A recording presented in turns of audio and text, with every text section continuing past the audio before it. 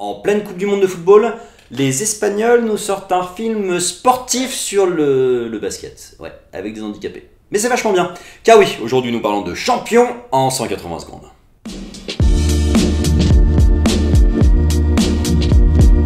Réalisé par Javier Fesser et sorti le 6 juin 2018, après avoir été arrêté conduisant en état d'ivresse, Marco doit entraîner une équipe de basket handicapée. Alors, Champion a été très largement teasé au cinéma par des petites bandes annonces assez rigolotes, et euh, force est de constater que euh, l'Espagne nous offre une verve très intéressante sur le sujet du handicap, qui est un sujet euh, traité vraiment sans condescendance mais avec beaucoup d'amour, beaucoup d'humour, beaucoup de vrai en fait, et pas du tout dans une vision euh, utopique ou euh, victimaire. Et ça, ça fait du bien parce que c'est quelque chose que euh, les Français ont du mal à faire. c'est pas toujours réussi du point de vue des Américains non plus.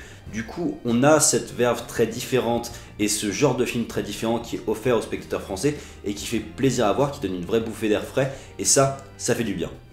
Comme je vous disais, c'est le point fort principal de ce film, c'est qu'il est vrai il est vrai dans le sens où le sujet est traité entre euh, l'humour, entre l'absurde de ces situations de personnes euh, dans, un cas de handicap qui du coup peuvent être drôles entre guillemets par le, too much de leur situation et euh, sur l'aspect drame aussi qui est aussi présent sans être victimaire. Et tout ça nous offre en fait un film sur un pan de vie un pan de vie de personnes handicapées, de personnes pas handicapées, mais aussi sur cette réflexion que toute personne un handicap.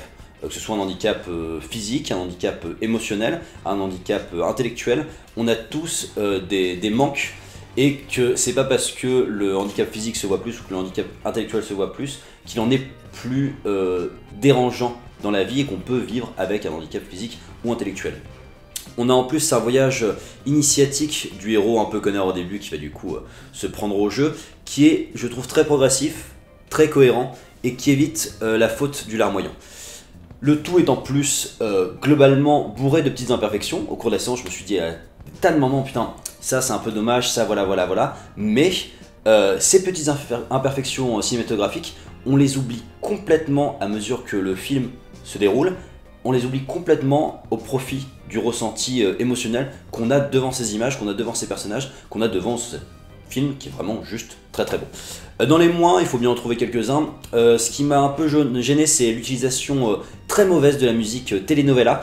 on nous remet les mêmes thèmes, si c'est triste, on met du violon. Et puis le petit thème qu'on trouve dans les bandes annonces, ce petit thème un peu rigolo, il est utilisé toutes les 5 minutes, c'est insupportable. Le début est peut-être un peu long à se mettre en place. Et puis, je me suis fait la remarque que le héros prenait peut-être un peu trop le pas sur l'équipe, sur les personnages handicapés qui sont tous de d'excellents acteurs qui sont tous très très touchants et j'aurais peut-être voulu en apprendre un peu plus sur leur passé même si on a un montage là-dessus qui fonctionne plutôt bien. Champion nous apporte donc un regard vrai sur le handicap avec beaucoup d'humour et d'amour qui ne devrait pas laisser le spectateur indifférent et top. Et c'est tout pour la critique ciné d'aujourd'hui. J'en profite pour faire ma petite page promo euh, je suis majoritairement comédien en plus de faire ces critiques sur YouTube et je participe en ce moment à une série de courts-métrages avec Castaway Productions que je scénarise et dans lequel je joue. Euh, Castaway Productions c'est une chaîne YouTube spécialisée dans les effets spéciaux et nous avons sorti la semaine dernière un nouveau fan film sketch Star Wars, Star Wars l'étape 2. Je vais vous mettre des extraits euh, juste à côté et puis je vous mettrai le lien en description. N'hésitez pas à aller y jeter un coup d'œil parce que c'est pas mal de travail et j'espère que ça pourrait vous plaire. En attendant, je vous invite à liker, commenter, vous abonner, et je vous donne rendez-vous très bientôt pour d'autres critiques ciné en 180 secondes.